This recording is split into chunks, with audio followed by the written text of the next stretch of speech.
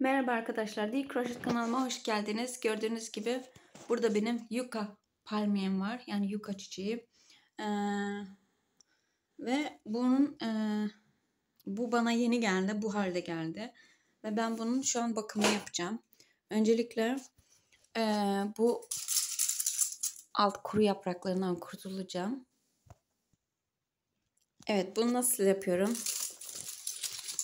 Böyle aşağıya doğru çekerek hepsi gidiyor.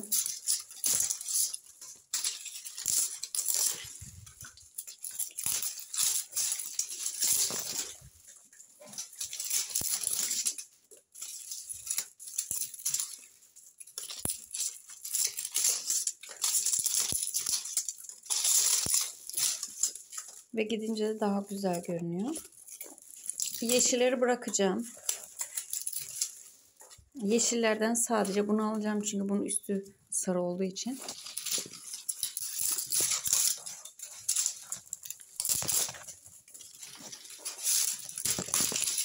Birazdan bunun tozunu da sileceğim. Çok tozlanmış.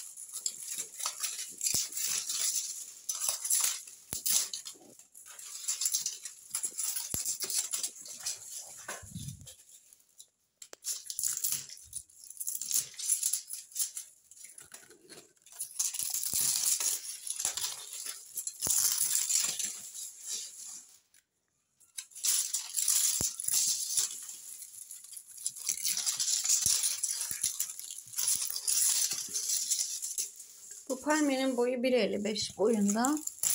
Yaşını e, bilmiyorum kaç yaşında ama bayağı yaşlı olmalı.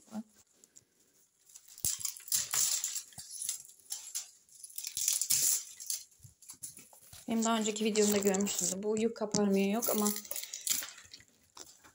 Draciana e, palmiyem var ve mm, gerçekten çok küçük ve o e, büyüyene kadar yani yıllar geçmesi lazım bence.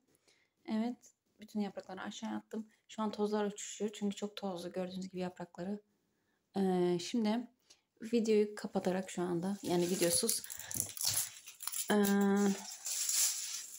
yapraklarını tek tek sileceğim hepsini.